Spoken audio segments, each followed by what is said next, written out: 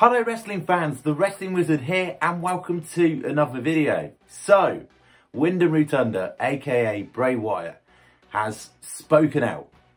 And it's hard to gauge from his message whether he's seriously pissed off or he's just playing mind games with us. Because as we know, Bray Wyatt is a genius in terms of being cryptic, coming out with all these messages.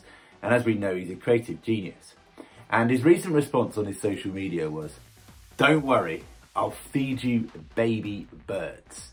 Now, I don't think this is a coincidence, that this isn't far from a recent report that's come to light suggesting that Bray Wyatt was difficult to work with, he had weight issues and performance issues in the ring.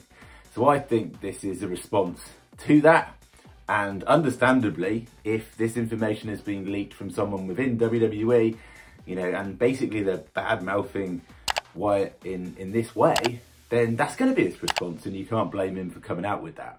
Um, I loved it. And obviously what was interesting as well was it was a picture of the Fiend within that. And people went crazy because they thought, you know, if he's posting an image of the Fiend, using that persona, then does that mean he's coming back to the WWE?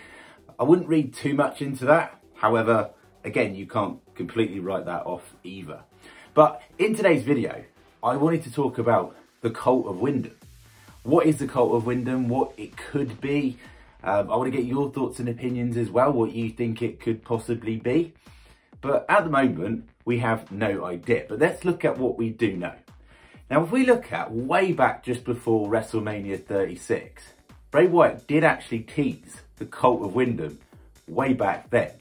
And allegedly, according to reports, this was supposed to be some form of podcast.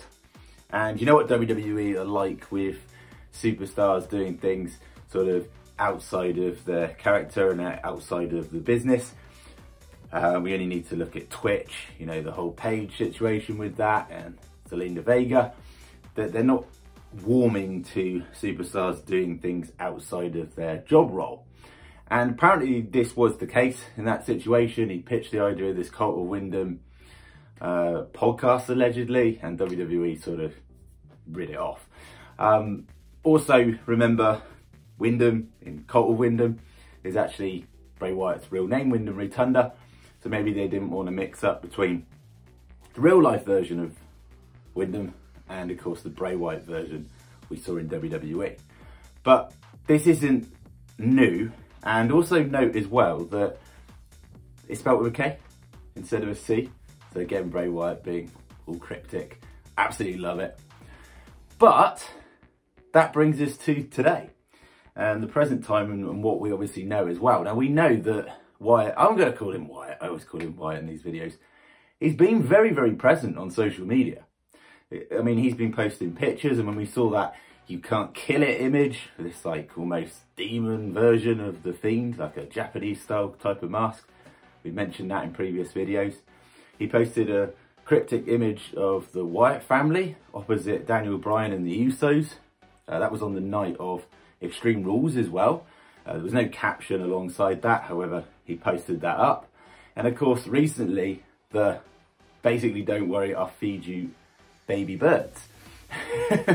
um, not to mention other responses, he's responded to fans saying basically, don't worry, all will be revealed soon, I'll see you soon.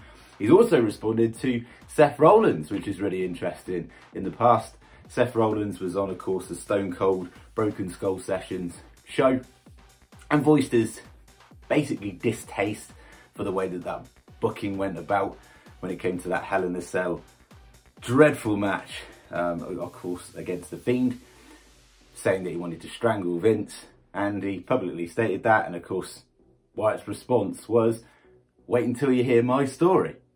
Now, you can read what you like into that, but it sounds like he's trying to get his real life version of, of course, himself is in actually Windham Rotunda and his real point across. And he's mentioned also that you've never seen the real him.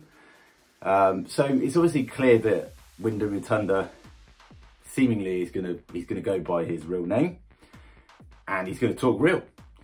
And and that sounds to me and that gears towards it being a podcast and this actually happening. So the original idea he had will actually come to light. Now, of course, he's got all the freedom now Um, well, he has got the freedom very soon when his non-compete contract runs out with WWE.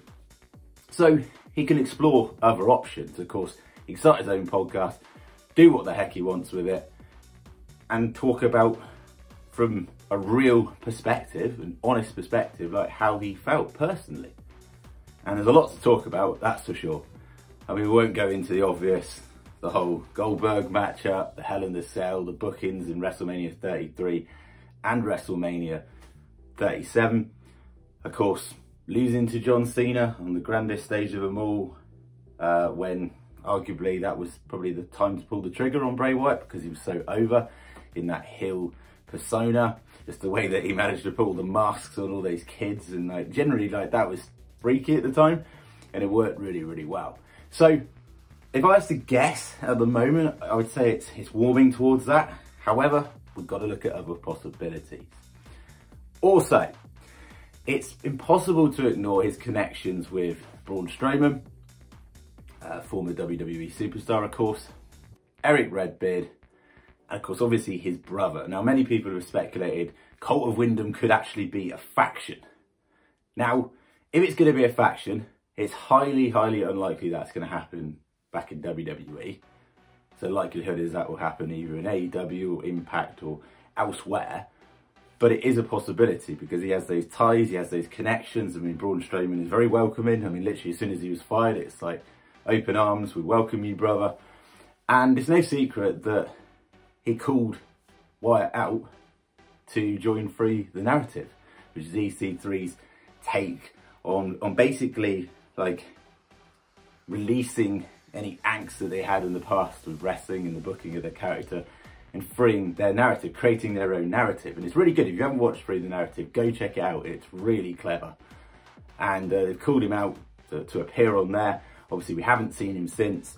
However, the possibility of those working together in some form could work. Now, there's pros and cons to it. Obviously, we're going to see him showcase his creative genius. We'll see a faction. But many people, especially lifelong fans in WWE, or huge fans of Bray Wyatt in the past, feel like it's a bit of a cop-out to the Wyatt family. And the Wyatt family was unique, it was iconic, and something very, very different. I think Bray, War Bray Wyatt, it's safe to say, brought something completely unique to the wrestling world in WWE. And I was lucky enough to see the Wyatt family in person in Manchester, England, and even better, I got to see The Undertaker appear. Uh, Undertaker and Kane, when there was that whole rivalry. And uh, it was literally, if you've not seen The Undertaker's entrance in real life, it is spine-tinglingly, like, awesome. I had goosebumps everywhere and I didn't expect him to turn up, which was even better. But the whole aura of the Wyatt family, just the way he carries himself on the mic, it was incredible. If you haven't seen him, see him wherever he goes, whenever he returns, and if and when he returns, uh, very soon, hopefully. So there's that option. Now, there's obviously the fantasy booking option as well, and you can let your mind run wild when it comes to fairies with this, but I love the idea of him, if he were to come back to WWE, have like a demon faction. That would be really cool. Like the Demon King, um, and of course Finn Balor.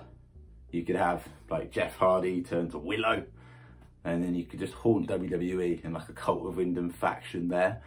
I mean, it's obviously fantasy because Jeff Hardy's on SmackDown and Finn Balor's on Raw, and the likelihood is um, Jeff Hardy probably will turn into Willow.